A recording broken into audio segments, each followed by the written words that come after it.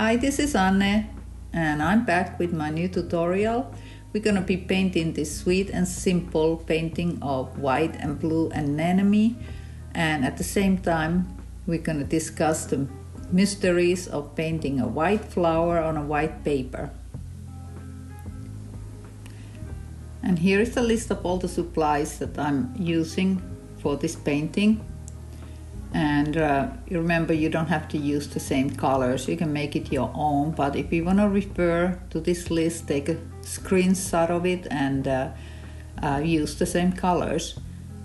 Anyway, uh, today I'll be using 100% cotton paper, cold pressed, and my Chinese brushes, and basically yellow, couple of different kind of violet, blue, and green for this painting. And um, of course, the fine line ink pens at 0.05 and 0.1 millimeters. And this is my simple drawing. I just wanted to get the size of the flowers right and um, the petals. So, uh, other than that, I'm just gonna go and be creative with the process. And as usual, I'm here waking up my colors by spraying a little bit of water on them. These are my Mission Mijello gold uh, paints, and I love that palette. It's really practical, easy to clean. This is the second palette that I'm using. These are my Daniel Smith and uh, Winsor Newton colors. This is my old palette. It's a little bit harder to keep clean because the corners are really hard to clean in this one. So right away I managed to create a smudge on my paper. So here I'm lifting it up with clean water and paper towel and just rubbing it gently and repeating the process and hopefully it will come up. Violet is the one color for sure that does not come up very easily but a lot of other colors they do. So I'm starting out with this blue flower and uh, it's a little bit behind the big white flower I'm doing every other uh, petal, so I am hoping that I don't get one big blue blob here, but being able to separate the petals a little bit by doing this, giving them little time to um, dry at the edges of the color before I add the other petals. And I'm starting with the light blue purple mixture and adding darkness in the center of the flower there. Uh, you can see that I also left little white speckles in the petals there. Um, and uh, those are the little sunspots that uh, I always create in my flower paintings. And lifting up some of the purple paint there to get some transparent feeling for the petal. Uh, purple is one color that once it dries, it's pretty, it, it sets in and you, it's hard to clean it or lift it up. So try to do that before uh, it gets really dry. And then just continue to work on getting the center darker. And uh, cleaning up some of the edges here. I'm using the violet, the lighter violet, and my ultramarine blue right now, creating little um, lines where the petals have maybe little folds in them, and that creates a shadow.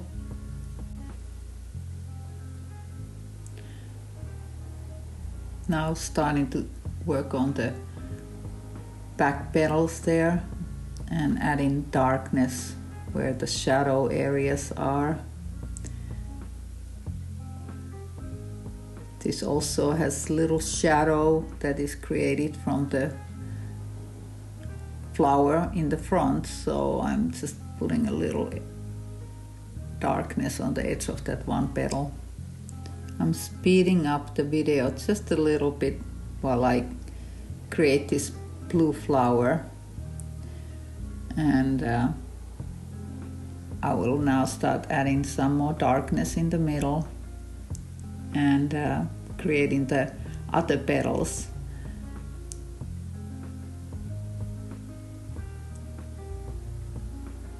There I go.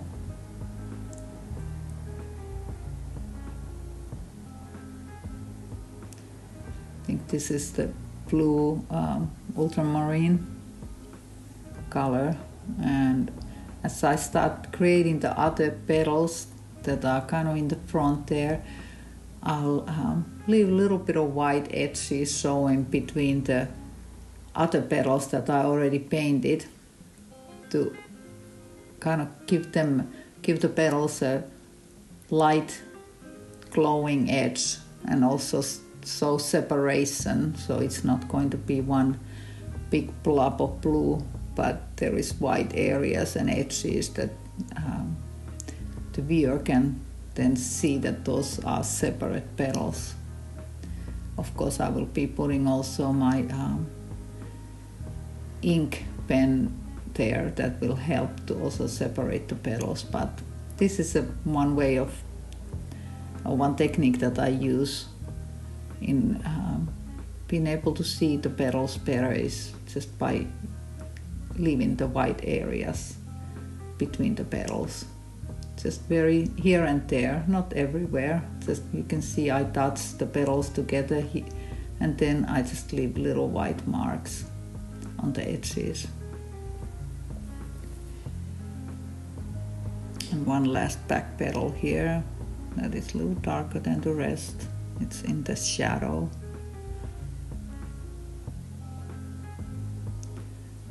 And in darkness, in the center of the flower. And in the shadow areas, the petals that are in the back. This gives dimension to the flowers, make them more three-dimensional, not so flat.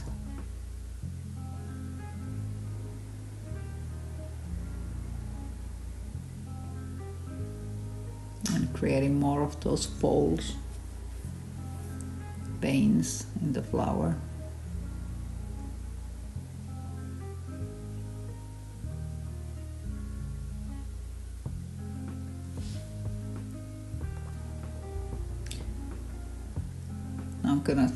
Drop a little bit of just clean water into the flower. It's just I like the way it looks when you get cauliflower effects, and it also gives a lighter spot in the flower, which might indicate that the uh, sun is shining and glowing there on that petal.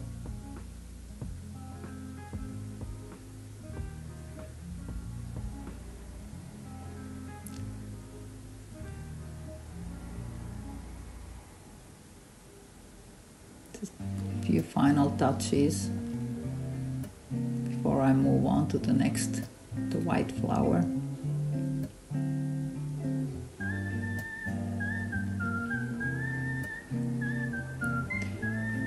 And in darkness, and remember that watercolor always dries much lighter than it is when it's wet, so don't be scared of adding darkness. So here I go to the white flower. And white flower, the principle is basically that even though the flower is white, and in our brain we look at and we know that the flower is white, it actually has very little bit of uh, white in it. The flower has a lot of shadow areas, and what I do is I use the colors uh, of the surrounding flowers, of the sun, of the leaves, um, to make those shadows. So those folds that I was doing and making for um, the blue flower, now I do for the white flower in the um, and the shadow areas by using all the colors that are surrounding the white flower. And they are just very watered down, um, much, much lighter colors than the um, colorful flowers that might be surrounding the white flower. Yet it's kind of surprising how much color white flowers have. I do leave more white of the paper sewing on a white flower, of course, but um, it's still pretty limited, especially in the shadow areas. There might be hardly any white showing, but compared to the background and compared to the foliage, the leaves, and the other flowers, the white flower has to be a whole lot lighter uh, in value, and that gives um, illusion of whiteness on that flower. I'm mixing the colors uh, that I use for the white flower together, like yellow and blue. I think I used a little bit like cerulean blue in this white flower as well. It might not be on my list of colors that I uh, put in the supply list, so I apologize for that.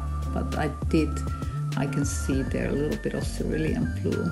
But I uh, mix the colors so that they are a little bit more on an earthy gray tone, not pure yellow or pure purple or blue.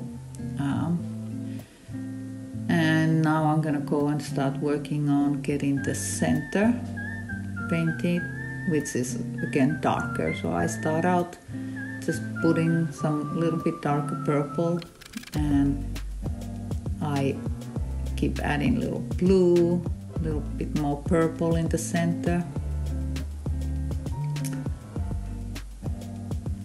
Then I take pure water and I spread out.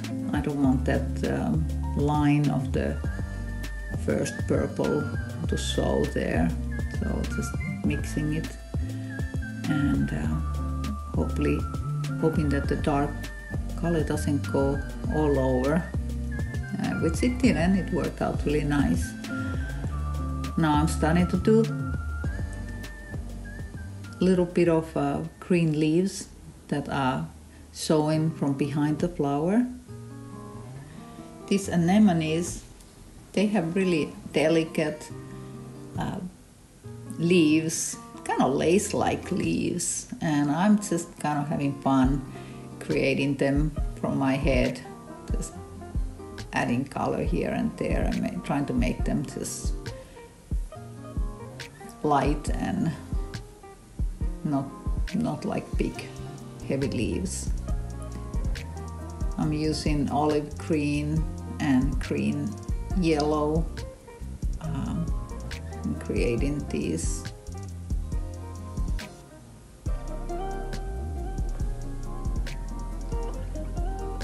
Be going and adding a little bit darkness there eventually and yellow as well.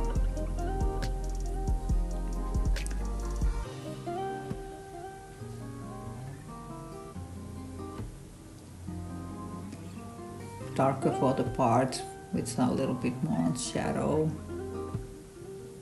and these leaves are going on top of the blue flower because the blue, blue flower is in the back. And then doing the stem, just leaving, leaving white showing as well.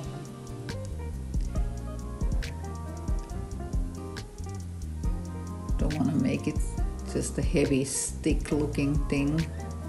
The stem to be just something heavy and so it, I'm leaving white and breaking it up a little bit. It looks much sweeter that way. And adding now a little bit darker leaves for the darker flower.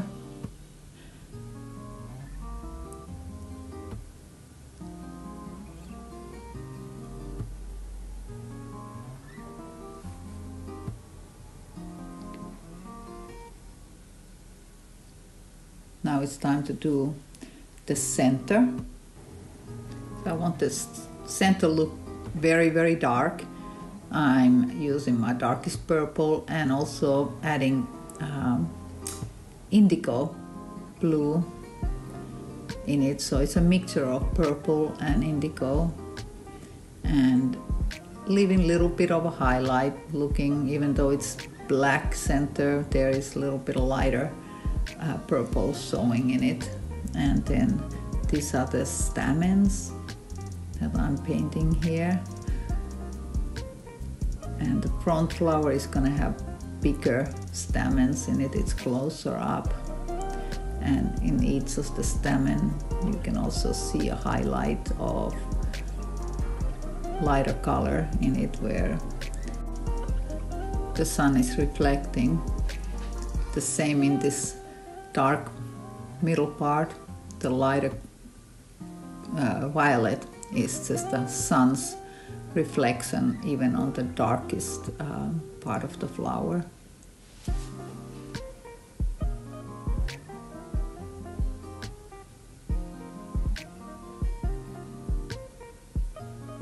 And here comes the stamens. I'm making them bigger, and you can see that I'm leaving um, in them a little bit of white showing in not all of them, but not white, but purple, whatever light purple that is behind.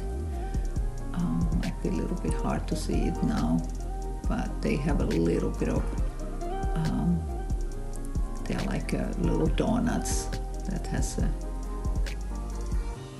the lighter color sewing in the center and that'll be um, just a little detail that adds in the sweetness of the painting it's all the reflection of the sun everywhere on the flowers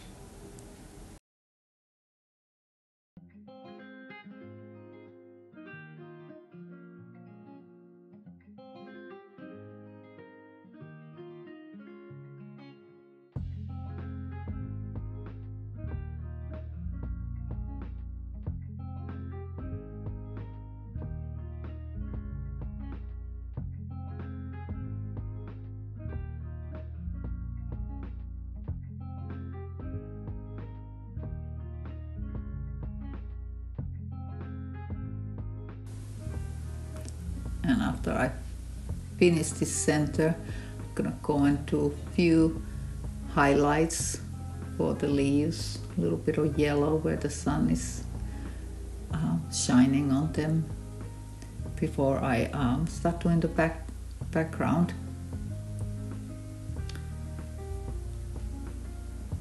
I want to get everything very very dry before I do the background so I think I'm going to be um, using a hair dryer to try to speed up the drying time.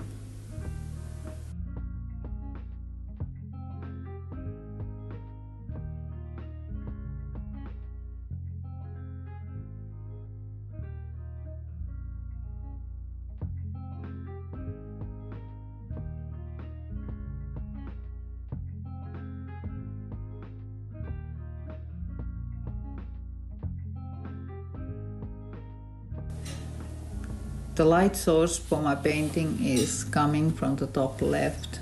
So I'm gonna be leaving that top left corner the lightest part of the background. And I'm using here uh, green, oh, green yellow and um, going lighter in this corner as I go. I'm not so worried about getting every piece of the a background totally color. And I when I go around the flower I leave light areas or white areas uh, on the edges of the petals. And I just continue working down and leaving white also around the leaves. And I apologize. I think I did not realize as I was painting, I was going uh, out of the camera area here in the bottom, so you don't see I'm adding a little bit of um, olive green and then um, a little bit of ultramarine blue in the mixture, make it darker and more earthier, the bottom part of the painting. And again, the stems, leaving white areas in there, coming up, going lighter again. Here you can see the blue in the bottom and now adding a little bit of splatter of the paint green and the yellow green in there. Try not to go overboard. Here I also do some purple, small purple spots. I think I have used mostly my large Chinese brush here um, until now. And uh, I'm picking up some of the paint. I don't want the splatter to be very very strong especially for the background so I pick up some of the paint and make them lighter.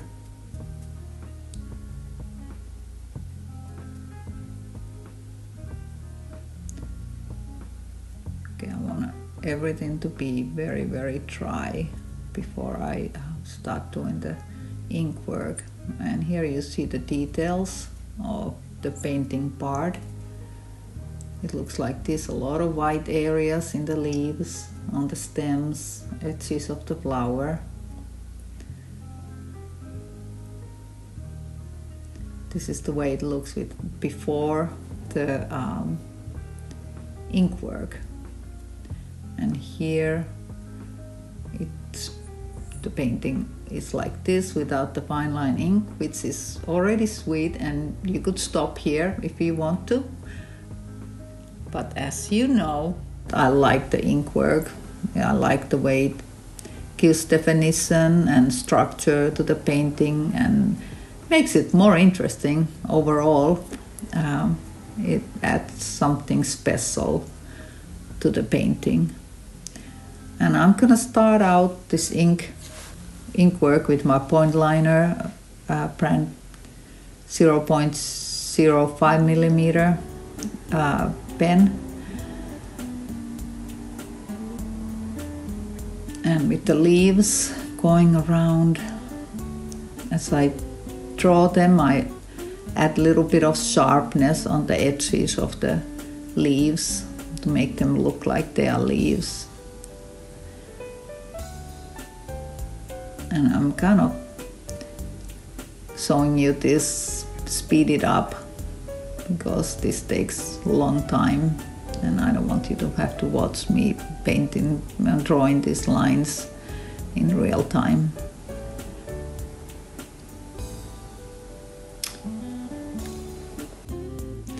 I see a lot of people painting uh, or using ink lining by uh, just drawing color and then uh, going and creating lines and petals and leaves with the line uh, work.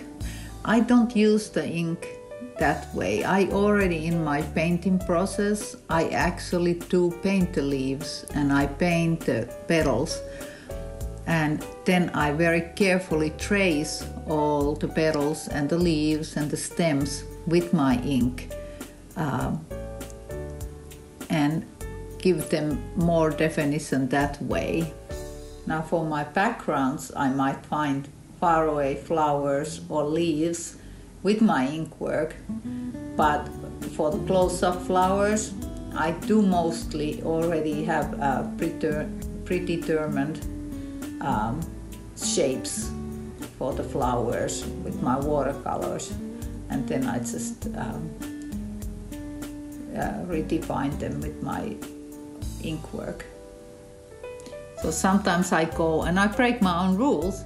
Sometimes the painting just leads me to do something different, and that's the fun of the whole creative process. It's full of surprise. I wanted to just start out by outlining everything, um, the big big petals and the um, center here.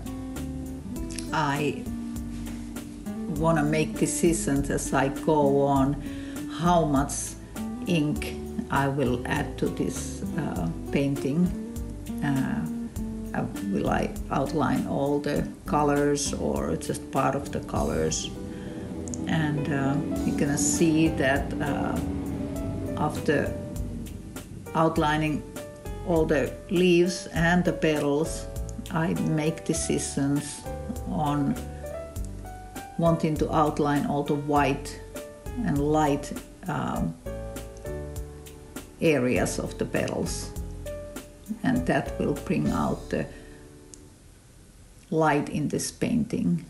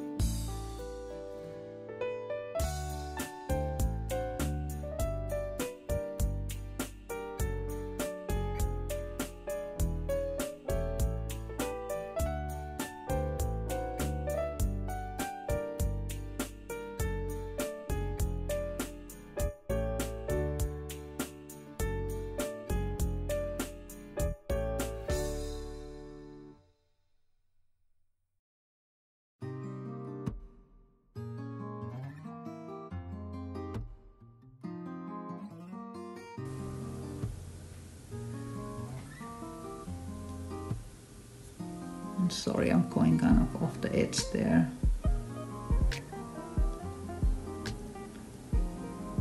It's hard to see what I'm doing, I apologize for that. But I'm just doing the leaves. So here I made the decision of going and doing the light parts of the flowers.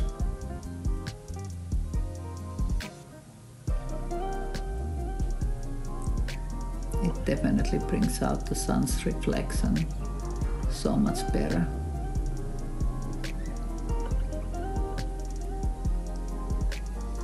And I'm staying very carefully on the edges of the colors. I don't just go here and there and um, I actually stay on the very edge and take my time in following the edges I'm gonna be speeding up now. So this doesn't take forever because I'm, I'm going very slowly actually drawing this.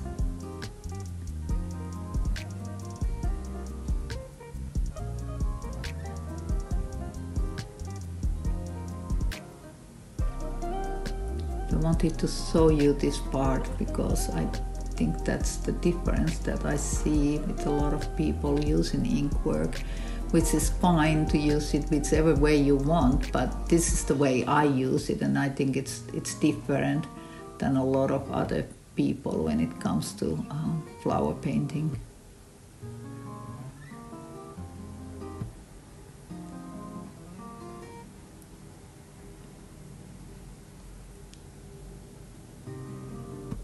And here I decided that um, I'll do all, first all the white parts of the background and see how that looks and make decisions if I want to start um, also separating some of the colors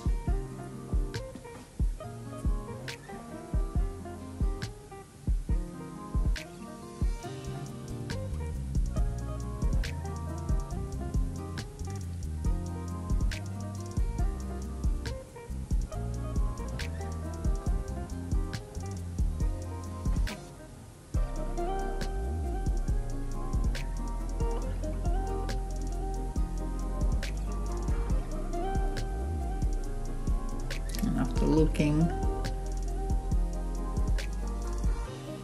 at this point. I make decisions right here. I'm like hmm I think I think it needs more interest in the back. So I take and I start outlining the little bit darker yellow areas. There could be some kind of leaves in the back far away just adds a little bit more into the background and also the kind of purplish bluish areas in the back.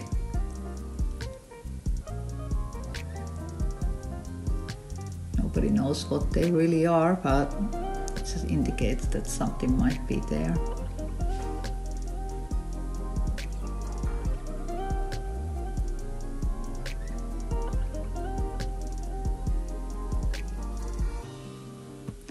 always a little bit of a struggle how much you want to uh, add into the background, not to make it too busy and take away from the main flowers, which sometimes I have managed to spoil my paintings by doing the background too busy. This is the final result and I'm showing you all the little details how it looks right now. You can see I didn't go and outline all the colors. I left lots of colors just melting into the flower by itself. No outlining especially on the white flower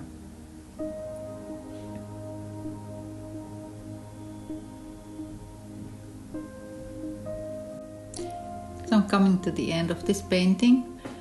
I hope that you learned something uh, new about my technique and especially how to approach painting white flowers. And I hope you will come and visit my uh, uh, Facebook artist page and also the group I created called Art with Anne Gandolfo, Fun with Colors. Come and join it I'll see you next time. Thank you. Bye bye.